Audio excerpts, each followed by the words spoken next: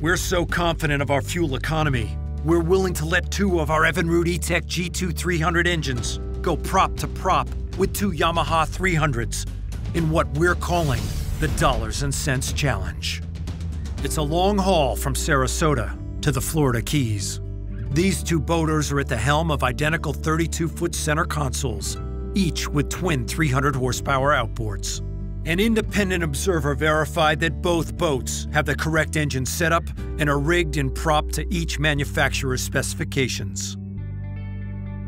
They both have 160 gallons in their saddle tanks as they begin the 206 mile journey from Sarasota to Key West. Same horsepower, same fuel, same distance.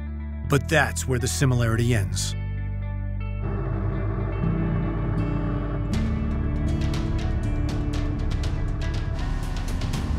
To get a true fuel comparison, both boats will run side by side for the entire trip. Andrews 2, Andrews 2, vessel. Sometimes there's nothing better than running on open water, but for sure, there's nothing worse than running low on fuel.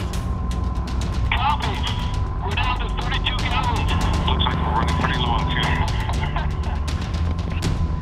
Looks like we're going to make it. Okay, well, that's it for us. You hear that? That's the sound of two Yamahas burning through all that fuel and money, and still coming up short. 2, Andrews 2, this is Sea Tow, Key West. 25 miles short of Key West, to be exact. We exact. ran out of fuel. We're about uh, 25 miles north of Key West. Andrews 2, what is your position at this time? With 32 gallons of fuel remaining, the Evinrude E-TEC G2 powerboat continues on its journey. I got you at 24 degrees, 57 decimal. The 300 horsepower E-TEC G2s go the distance, pulling into Key West with 15 gallons to spare. Let's do the math. The Evinrude made the trip with 145 gallons.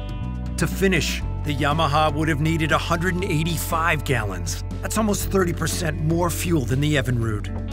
The Yamaha owner would have had to spend $160 more to make that one way trip. And that's not counting the fuel to get back home or the cost of sea tow. More range, less money. That's fuel efficiency. That's Evinrude E-TEC G2.